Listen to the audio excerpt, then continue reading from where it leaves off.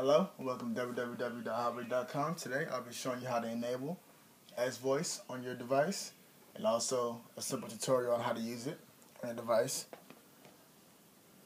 In order to enable S Voice on your device, we need to tap on the apps menu, tap on settings, and from settings we need to be under the tab My Device as you can see at the top of the screen. At the bottom you will see voice control.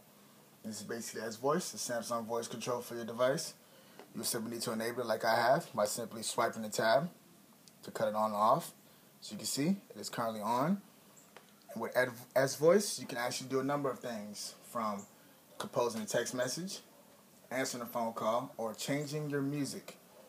From here, I'll be showing you how to, as a quick tutorial, how to use S Voice when listening to music. From here, I will simply find my music app to start the process. And from here, take notes at the top of the screen. A pop-up will come up saying you can use your voice to command music. so from here, I will be starting up one song and going to the next.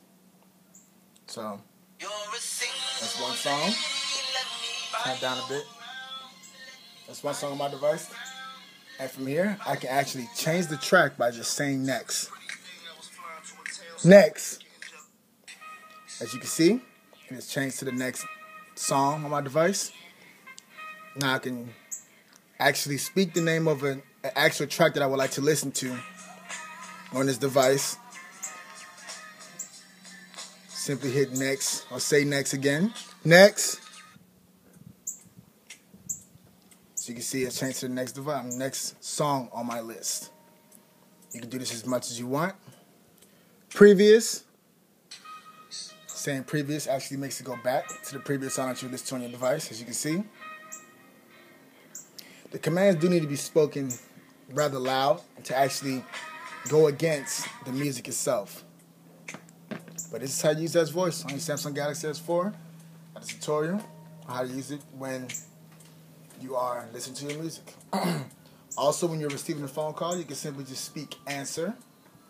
I would do that. Do not have to time me exactly do that, or the person to call me, unfortunately. Sorry. But if a person calls, you can simply just say answer, reject, in order to reject their phone calls. But this is how you can use S Voice on your device to do different things. Thank you for watching. And for more in-depth how-tos, please visit www.visihow.com.